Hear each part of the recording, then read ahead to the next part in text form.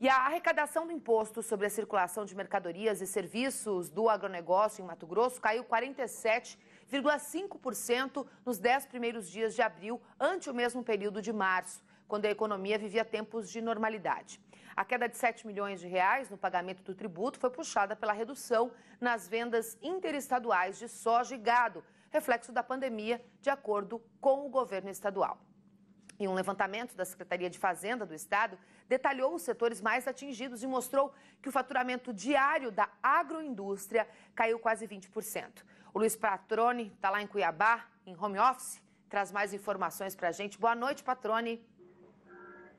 Oi, Suelen, boa noite para você, boa noite a todos. Olha, Suelen, os números são claros, né? Eles retratam de fato o impacto né, da quarentena, enfim, de todo esse cenário que a gente vem vivenciando aqui em Mato Grosso, retratam em números. Né? Como você mencionou, é, a queda da arrecadação ela acaba mostrando como o faturamento do, dos setores da economia aqui no Estado também foi atingido. O que, que o governo fez, a Secretaria de Fazenda? Ela monitorou desde o início do período de quarentena aqui em Mato Grosso, aqui começou no dia 16 de março, portanto, na última sexta-feira completou quatro semanas, esse é o recorte do estudo, tem agora essa semana terminando agora, uma expectativa de que na semana que vem novos números sejam divulgados, evidentemente. Mas esse recorte, Suelen, ele mostrou de fato o impacto em cada um do setor, dos setores da economia. Claro que é, comércio e serviços são os mais atingidos, evidentemente, com a, a, o isolamento social né, e a redução gradativa da circulação das pessoas e do consumo, mas é claro que também o setor da agroindústria, como você mencionou e destacou,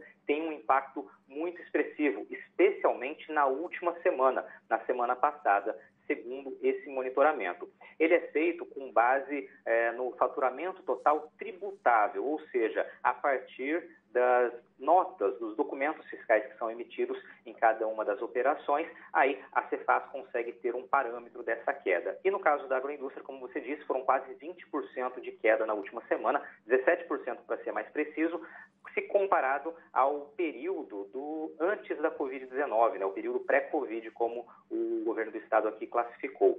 Isso, em números reais, em faturamento bruto, significa nada menos do que 13 milhões de reais o setor da agroindústria deixou de movimentar na última semana, isso por dia.